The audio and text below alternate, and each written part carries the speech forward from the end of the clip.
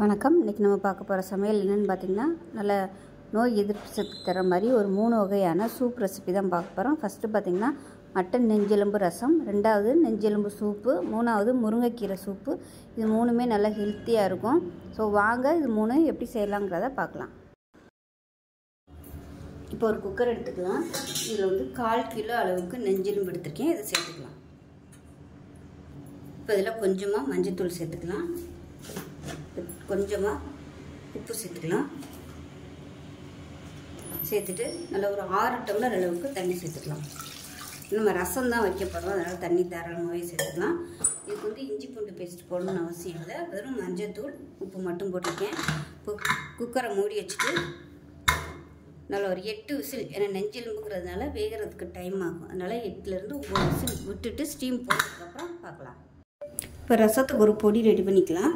ஒரு table spoon வர கொத்தமல்லி. அதே மாதிரி ஒரு டேபிள் ஸ்பூன் சீரகம். அரை டேபிள் ஸ்பூன் மிளகு. இப்போ இதை வந்து நம்ம பொடிச்சிட்டு வந்துடலாம். இப்போ இந்த அளவுக்கு பொடிச்சாச்சு. ரொம்ப நைஸாக பிடிக்க வேணாம். ஒன்று ரெண்டாக இருந்தால் போதும். இப்போ இதில் வந்து ஒரு சின்ன பல் அதாவது ஒரு கட் இந்த சைஸுக்கு ஒன்று எடுத்துருக்கேன். பூண்டு வந்து நல்லா பொடி பூண்டாக எடுத்துக்கோங்க. நாட்டு பூண்டு. அதுதான் நல்லாயிருக்கும் ரசத்துக்கு. இப்போ இதில் வந்து ஒரு பச்சை மிளகாயை உடச்சிட்டு சேர்த்துக்கலாம். கொஞ்சமாக கருவேப்பிலையில் ஒரு கொத்து வந்து கொத்தமல்லி. அது தண்டாக யூஸ் பண்ணிங்கன்னா நல்லா வாசனையாக இருக்கும். அவ்வளோதான் இப்போ இது எல்லாத்தையும் நல்லா அரைச்சிட்டு வந்துடலாம். இப்போ இந்த அளவுக்கு ரெண்டு தக்காளியை பொடியாக கட் பண்ணிக்கலாம். அதே போல் சின்ன லெமன் சைஸுக்கு புளி எடுத்து சுடுதண்ணியில் ஊற வச்சுக்கலாம். இந்த அளவுக்கு புளி இருந்தால் போதும்.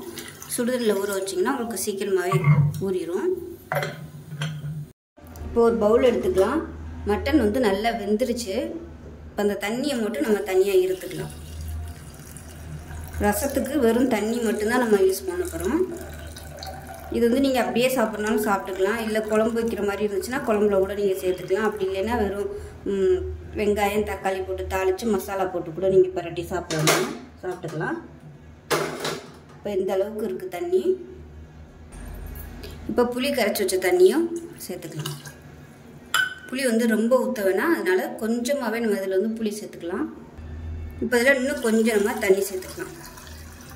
ஒரு ரெண்டு டம்ளர் அளவுக்கு சேர்த்துருக்கேன். ஒரு நாலு பேர் சாப்பிட்லாம் இந்த ரசம். இப்போ ஒரு பேன் எடுத்துக்கலாம். எண்ணெய் சேர்த்துக்கலாம். ரெண்டு டீஸ்பூன் அளவுக்கு எண்ணெய் சேர்த்தா போதும். எண்ணெய் சூடாகவும் ஒரு டீஸ்பூன் போல் கடுகு. சும்மா ரெண்டே ரெண்டு சீரகம். அதே மாதிரி ரெண்டே ரெண்டு வெந்தயம். ரெண்டு வரமிளகாயை சேர்த்துக்கலாம். கடுகு பொரிய ஆரம்பிக்கையில் கருவேப்பிலை சேர்த்துக்கலாம் இப்போ நமக்கு ரசத்துக்கு பொடி பண்ணி வச்சுருந்தோம் இல்லையா அதை வந்து சேர்த்துக்கலாம். இப்போ அதில் ரெண்டு தக்காளி நல்லா பொடியாக கட் பண்ணி வச்சுருக்கேன் அதையும் சேர்த்துக்கலாம். தக்காளி வதங்குறதுக்கு உப்பு சேர்த்துக்கலாம். மட்டன் வேக வைக்கும்போது உப்பு சேர்த்துருக்கு அதனால் கவனமாக கொஞ்சமாக மட்டும் உப்பு சேர்த்துக்கலாம். இதெல்லாம் மஞ்சள் சேர்த்துக்கலாம். தக்காளி நல்லா வதங்கிடுச்சு நம்ம எடுத்து வச்சுருக்க இந்த எலும்பு ரசத்தை சேர்த்துக்கலாம். அதாவது தண்ணி.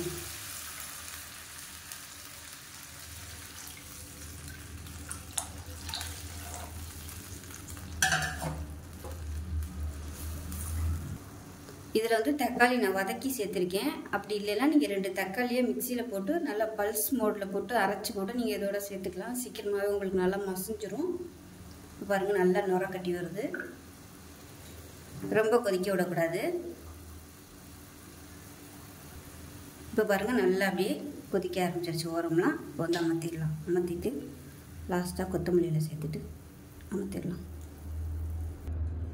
இப்போ எனக்கு வந்து உப்பு கம்மியாக இருக்குது ரசத்துக்கு அதனால் நான் வந்து இந்த பாத்திரத்தில் அடியில் உப்பு சேர்த்துருக்கேன் இது வந்து அப்படியே அதில் சேர்த்து நடக்கட்டும் சேர்த்துட்டு நல்லா அப்படியே மூடி வச்சிடணும்.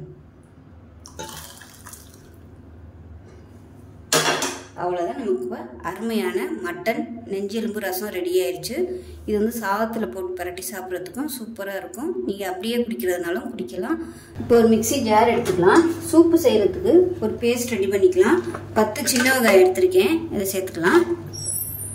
இது கூடவே மூணு பல் பூண்டு இஞ்சி வந்து ஒரு துண்டு. பூண்டு வந்து அதிகமாகவும் இஞ்சி வந்து கம்மியாகவும் எடுத்துக்கோங்க. கால் டீஸ்பூன் கசகசா ஒரு டீஸ்பூன் சீரகம் அதே மாதிரி கால் டீஸ்பூன் போல் மஞ்சத்தூள் பாதி வந்து நான் இதில் சேர்த்துக்கிறேன். மீதி வந்து நம்ம தாளிக்கையில் சேர்த்துக்கலாம். இப்போ இது வந்து நல்லா நைஸாக அரைச்சிக்கலாம்.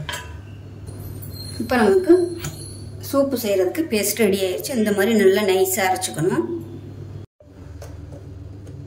இப்போ இதில் தேவையான அளவுக்கு நல்லெண்ணெய் சேர்த்துக்கலாம். இப்போ எண்ணெய் நல்லா சூடாகட்டும். இப்போ எண்ணெய் நல்லா சூடாயிருச்சு. சின்ன துண்டாக பட்டை சேர்த்துக்கலாம். அது கூடவே கால் டீஸ்பூன் போல் சீரகம் சேர்த்துக்கலாம்.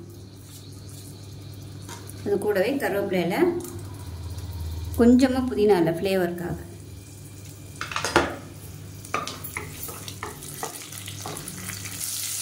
இப்போ இதில் ஒரு பதினஞ்சு சின்ன வெங்காயம் இந்த மாதிரி பொடியாக கட் பண்ணியிருக்கேன் இதை சேர்த்துக்கலாம்.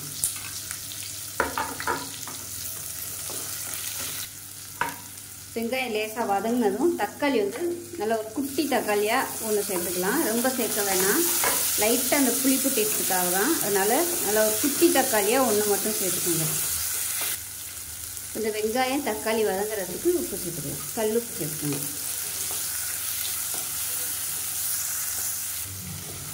இப்போ வெங்காயம் தக்காளி நல்லா வதங்கிடுச்சு. இப்போ நம்ம அரைச்சி வச்சுருக்க அந்த பேஸ்ட் வந்து அப்படியே சேர்த்துக்கலாம். சேர்த்துட்டு நல்லா வதக்கி விட்டுக்கலாம். இப்போ நல்லா வதங்கிட்டு இருக்கு. இதில் வந்து கால் கிலோ அளவுக்கு நெஞ்செலும்பு எடுத்துருக்கேன். அதை சேர்த்துக்கலாம். சேர்த்துட்டு இந்த மசாலாவோட நல்லா வதக்கி விட்டுருக்கோம்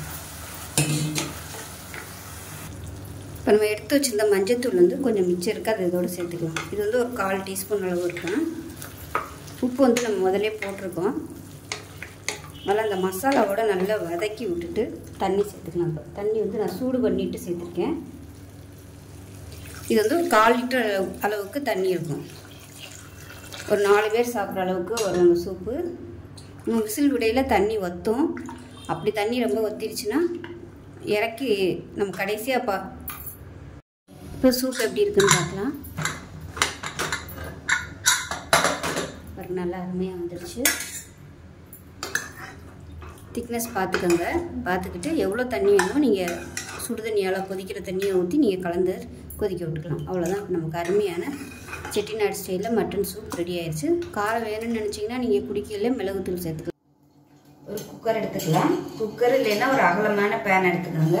இதில் வந்து ஒரு கால் டீஸ்பூன் போல் எண்ணெய் விட்டுக்கலாம்.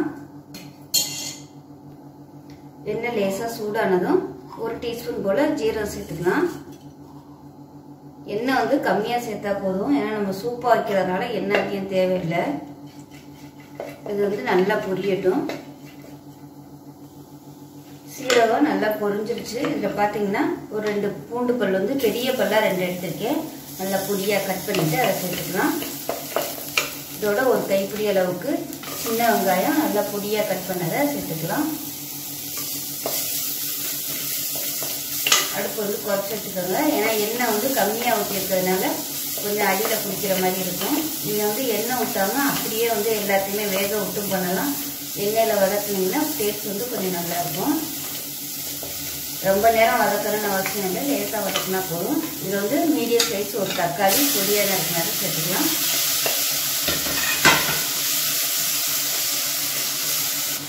இப்போ இதில் ரெண்டு பச்சை மிளகா பொடியாக கட் பண்ணதை சேர்த்துக்கலாம். இந்த சீரகம் எண்ணெயில் பொரியவும் நல்ல வாசனையாக இருக்குது இப்போ தக்காளி எல்லாமே லேசாக வதங்கிடுச்சு ரொம்ப குழையிற அளவுக்கு வதங்கணும்னு அவசியம் இல்லை. இன்னும் தண்ணி ஊற்றி வேக விட போகிறோம் அதனால் ஒன்றும் பிரச்சனை இல்லை. இதில் பார்த்தீங்கன்னா ஒரு நாலு டம்ளர் அளவுக்கு தண்ணி சேர்க்குறேன். இது வந்து கொதிக்க ஆரம்பிக்கட்டும். இப்போ இதில் இன்னும் கொஞ்சம் ரெண்டு டம்ளர் எக்ஸ்ட்ரா தண்ணி ஊற்றுறேன் இதில் பார்த்தீங்கன்னா முருங்கைக்கீரையோட குச்சி வந்து சேர்த்துக்கலாம். ஒரு கைப்பிடி அளவுக்கு சேர்த்துருக்கேன். இதையும் நல்லா மிக்ஸ் பண்ணி மிக்ஸ் பண்ணிவிட்டு இதில் பார்த்தீங்கன்னா ஒரு ரெண்டு டேபிள் ஸ்பூன் பாசிப்பருப்பு வந்து நல்லா தண்ணியில் கழுவிட்டு ரெண்டு மூணு தடவை கழுவிட்டு வச்சுருக்கேன். இப்போ அதை வந்து சேர்த்துக்கலாம். தண்ணியை இருத்துட்டு சேர்த்துக்கலாம்.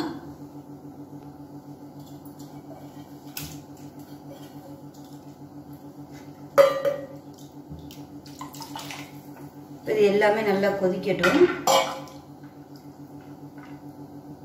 மஞ்சத்தூள் அரை டீஸ்பூன் போல் சேர்த்துக்கலாம். தண்டு வந்து நான் இன்னைக்கு ந அதாவது கல்லில் போட்டு நச்சுட்டு சேர்த்திங்கன்னா சாறு வந்து இன்னும் நல்லா இறங்கும். நான் வந்து அப்படியே முழுசாகவே சேர்த்துட்டேன். நீங்கள் யூஸ் பண்ணல கல்லில் போட்டு எல்லாத்தையுமே ஒன்று ரெண்டாக நச்சுட்டு சேர்த்திங்கன்னா நல்லாயிருக்கும் இப்போ இதுக்கு தேவையான உப்பு சேர்த்துக்கலாம். இப்போ பாருங்கள் தண்ணி வந்து லைட்டாக கொதிக்க ஆரம்பிக்குது. இந்த ஸ்டேஜில் வந்து குக்கரை மூடி வச்சிடலாம். விசில் போடாமல் வேக விடுறதுனாலும் அந்த மாதிரியும் பண்ணிக்கலாம். ஒரு தட்டு போட்டு மூடி வச்சுட்டு அந்த மாதிரியும் வேக விட்டுக்கலாம். நான் வந்து சீக்கிரம் வேலை முடியணுங்கிறதுக்காக குக்கரில் வைக்கிறேன். வச்சுட்டு ஒரு ரெண்டு விசில் விட்டுட்டு ஸ்டீம் போனதுக்கப்புறம் பார்க்கலாம். இப்போ சூப் எப்படி இருக்குன்னு பார்க்கலாம். இப்போ பாருங்கள் நல்லா அருமையாக வந்துருச்சு. இப்போ கேஸ் ஆன் பண்ணிவிட்டு இப்படியே வந்து ஒரு நிமிஷம் நல்லா கொதிக்கட்டும். ஒரு நிமிஷம் இல்லை ஒரு ரெண்டு நிமிஷம் நல்லா அப்படியே கொதிக்கட்டும்.